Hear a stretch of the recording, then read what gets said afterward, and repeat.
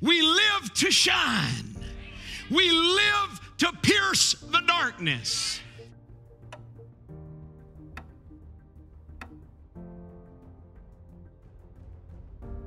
There is a people that has been prepared by the word of God, by the inspiration of revelation, that, that she might also not be ignorant of the devil's devices.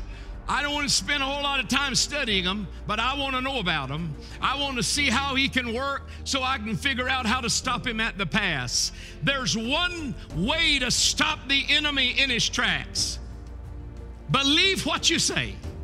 That's it. Believe what you say. It's not just speak the word. When you put your faith in that word, it causes an activation in the life of that seed. It causes something to come up and to come alive. And so, the more faith you can add to the word you speak, to the words you read, to the words you hear, the more uh, fruit you're going to see in your own personal life. I believe that there will be a revival. I do. I believe there will be a manifestation Uh, of the full adoption of sons. You are as adopted right now as you will ever be. But we have not yet learned the authority that comes with full adoption. But there is a maturity, as you know, that comes with this adoption, that the sons of God will arise. And they're not going to arise covered with darkness, they're going to arise to the light of the Lord. And the Lord is going to shine His glory. His glory shall be seen upon thee.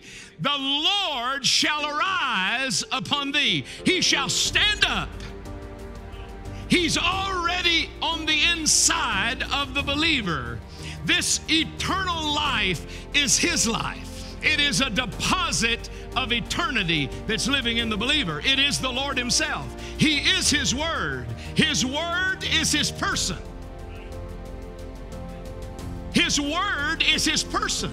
His Word is His presence. There is an anointing that can fall that makes his presence more real or more recognizable. But he don't leave you, brother, sister. If you're born again from above, the Lord is living in your house. He is sitting on your throne if you have allowed him to have that place of preeminence in your life. Anytime he wants to, he can stand up. But he is waiting for the invitation. Lord, will you arise in me?